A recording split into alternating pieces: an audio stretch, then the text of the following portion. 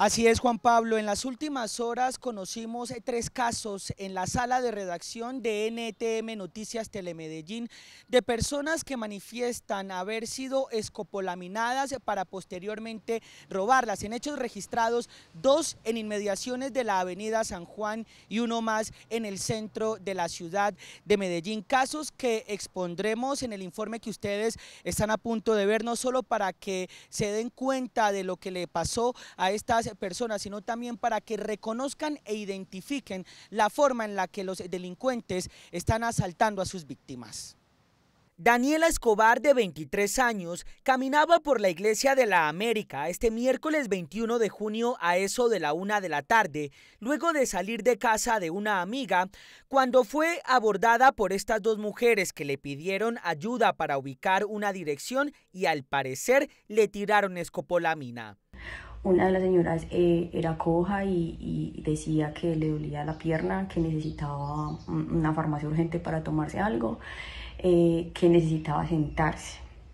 En el momento que le dicen a ella que si por favor la ayudan a sentarse, eh, ella pierde el conocimiento de lo que pasa. Cuenta Gina que su hermana fue ayudada por un vecino del sector quien al notarla desorientada se acercó a ella para ver si todo andaba bien, fue ahí cuando Daniela comenzó a entrar en razón y se dio cuenta de que le habían robado todo. Tenemos unas grabaciones donde se ven a las señoras. Eh, detalladamente uno ve que le tiran algo, eh, a partir de ese momento ya pierde el conocimiento, se le robaron todas sus pertenencias. Un suceso similar denunció en sus redes sociales César Javier Jiménez, un líder de la población LGBTIQ, quien manifestó haber sido drogado por una persona con la que acordó una cita en su vivienda ubicada en el barrio Boston y quien le robó todo. Llega esta persona hasta mi casa, y me distrae con otra persona que llega eh, y me echa pues esta sustancia, la cual entonces eh, empiezo a marearme mucho. Recuerdo entonces que trataba siempre de asfixiarme con la almohada.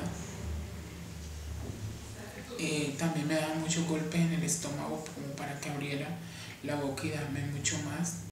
En horas de la mañana, las autoridades encontraron a un hombre desorientado en inmediaciones de la avenida San Juan, al parecer, luego de haber sido escopolaminado. Los hechos son materia de investigación.